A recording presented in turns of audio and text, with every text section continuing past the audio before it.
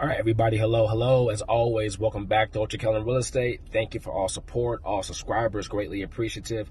So, for those who don't know me personally, I live with my tenants. I actually I live with my Section 8 tenants, and it's been that way since 2010. So, if you're watching this video right now, that's almost 12 years. So, there's good things and bad things about it. I mean, like, let's be real. Like, you know, so one, I always have neighbors on top of me, you know, so I live with my Section 8 tenants in my four units. So it's me and my apartment, then the other three apartments are full. So honestly, you know, it's not that bad. Like, you know, I mean, yeah, there are some times where like, you know, hey, I wish I kind of like lived in the house on my own and my tenants didn't like really know where I lived and that thing. But it's been this way with me for 12 years. So I can't really, you know, like, you know, say too much bad about because honestly, if it was that bad, I would just move out out. So I will say that, like, you know, sometimes, yeah, if you want certain things to be private, like, you know, it's kind of hard to make it that way.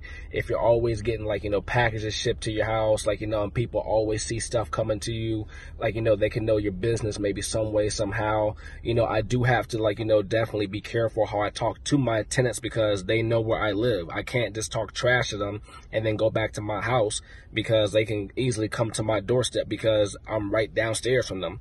Or, like, you know, my car is outside, things things like that. So maybe sometimes you have to worry about safety issues like that. But honestly, I really can't knock it too bad at all. Like, you know, there are some times where I, like I said before, I do wish maybe I lived like, you know, someplace else, like, you know, whether uh, a different house or a different condo, something like that. But in order for me to get the deal that I had to get in order to get involved in real estate, living with my tenants was the best option.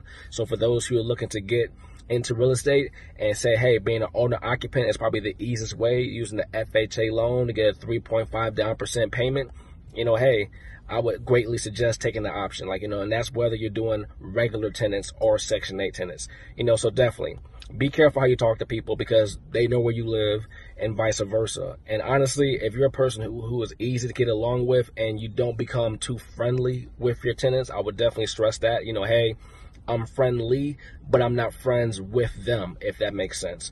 So, as always, thank you for watching the video. If you're watching on Instagram, you can find me on YouTube at UltraKellon Real Estate. If you're watching on YouTube, you can find me on Instagram and on TikTok at UltraKellon. All right, guys, till next time.